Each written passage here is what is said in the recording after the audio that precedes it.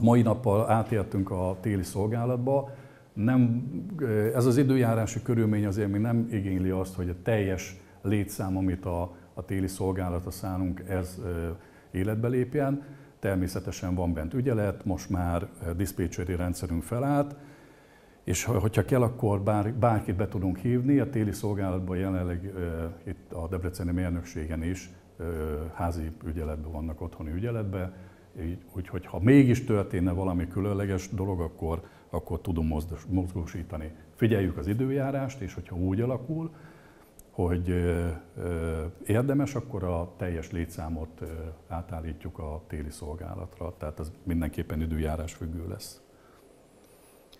Hajdóbiharba 1555 kilométernyi utat kezelünk, ugye ez fő és mellékutat jelent, és 49 kilométer országos kerékpárutat. Kerékpárutakkal kapcsolatban röviden csak annyi, hogy meg kell különböztetnünk a hivatásforgalmit és a turisztikait.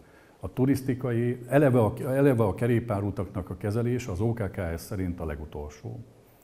Tehát ugye van egy rangsor, autópálya, főútvonal, alsóbrendű utak, és majd utána jön a, a kerékpárút.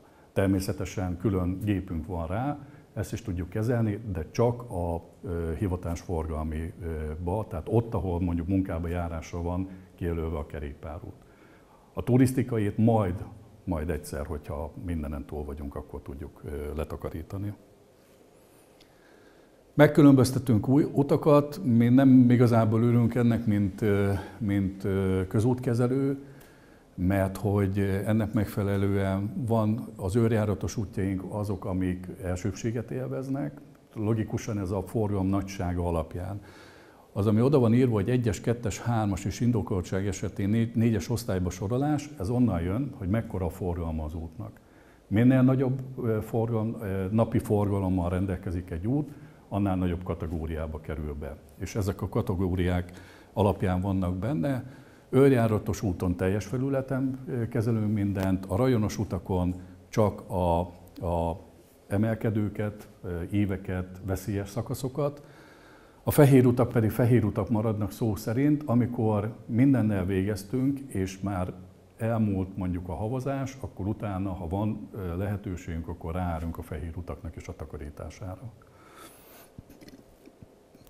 Természetesen a járhatóságot, mondjuk az ekézést ott is mindenképpen biztosítanunk kell. Jelenleg nálunk ezek a, ezek a adatok, só, kálciumklorid adat,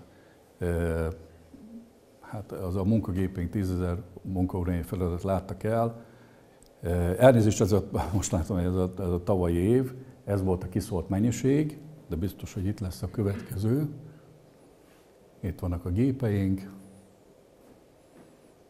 és ezek a mennyiségek, tehát 8000, durván 8000 tonnánk van, ha megnézzük, tavaly ennyit használtunk el nagyságrendileg. Tehát az a mennyiség, ami az előbb beszélgettünk erről, tavaly egy furcsa tél volt, ugye nem biztos, hogy mindenki látta, de rengeteget voltunk kint az úthálózaton, hiszen a nappali olvadás és az éjszakai fogyoknak az lett volna az eredménye, hogy reggel, aki megy, az biztos, hogy az árakba végzi, ha nem kezeljük az utakat.